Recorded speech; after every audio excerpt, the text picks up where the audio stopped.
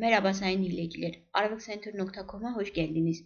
Bilirkişi Düşüncesi programında Azerbaycan Cumhuriyeti'nin asimilasyon politikası ve çok etnikli Güney Kafkasya üzerine kaldığımız yerden konuşmaya devam edeceğiz. Azerbaycan iktidarı bağımsızlıktan sonra ülkenin yerli halklarına yönelik etnik kırım politikasını çok kültürlülük ve hoşgörü sloganlarıyla örtmeye başladı. Cumhurbaşkanı İlham Aliyev Avrupa'yı Azerbaycan'dan hoşgörü örneği almaya bile çağırdı. Ancak gerçekler tam tersini söylüyor.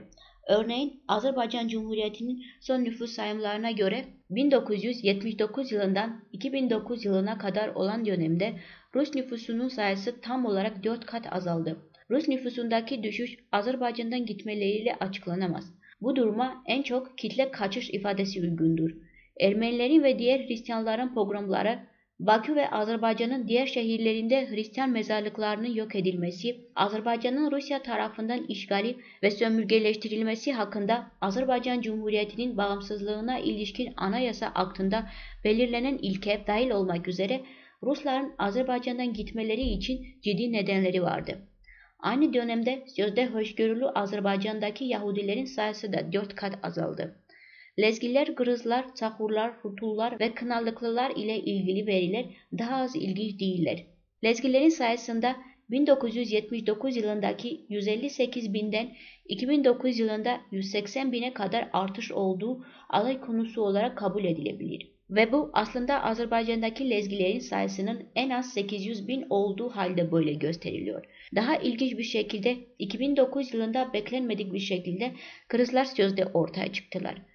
Nüfus sayımlarında Azerbaycanlı olarak kaydedilen Rutullar ve Buduklular halen sözde yeniden canlanma sıralarını bekliyorlar.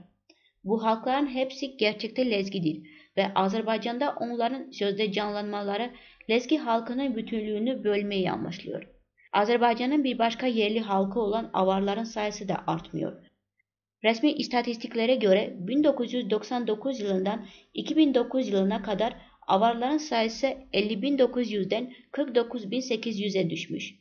Avar kuruluşlarına göre Azerbaycan'daki avarların sayısı 200 binden az değildir. Bugün sözde Azerbaycanlıların sayısı iki katına çıkıp 4 milyon 700 binden 8 milyon 170 bine ulaşmış. Daha önce de belirttiğimiz gibi resmi verilere göre sözde Azerbaycanlılar nüfusun %93'ünü aşıyormuş ve Cumhuriyet tek uluslu bir devlet haline gelmiş. Fakat yerli halkların haklarının tam olarak yokluğu hiçbir şeyle örtülemez. Yetkililer yerli halkların zorla asimilasyonunu tamamlamak için her iğrençliğe gitmeye hazırlar. Örneğin 2012 yılı İlham Aliyev tarafından Halk Sanatı Yılı olarak ilan edildiğinde Talış Masalı şehrinde sözde Uluslararası Folklor Festivali yapıldı. Festivale Türkiye, İran, Kazakistan, Rusya ve Azerbaycan'dan olan folklor grupları katıldılar. Festival katılımcılarının nerelerden geldikleri ilginçti. Rusya, Başkurdistan'dan, İran'a Tebriz'den gelenleri temsil ettiler. Kazakistan'dan gelen konuklar Kazak folklorunun örneklerini sundular ve Azerbaycan halkı Nahçıvan'dan bir grup tarafından temsil edildi. Sadece en büyük takım Türkiye'den geldi. Belirtilenin aksine Türk folklorunun festivaliydi. Yetkililer Talışistan'da Türk kültürünün gösterisini düzenledi ve bunu kasten yaptılar. Organizasyon komitesinin toplantıları sırasında Talış aydınları zengin Talış folklorunun tanıtılmasını da önerdiler fakat reddedildiler. Lenkeran'da bu tür bir başka olayda Rusça eğilimli lise öğrencileri aralarında Talışça da olmak üzere dünyanın 8 dilinde konuklar için bir tebrik sözü hazırladılar. Son anda etkinliğin organizatörleri bunu öğrenince öğrencilerin sahneye çıkmasına izin vermediler ve bu numarayı listeden çıkarttılar.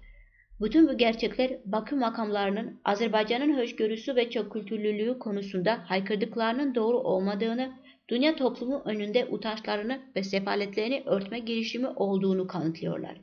Bugün bu kadar sayın dinleyiciler. Bizi dinlediğiniz için teşekkür ederiz.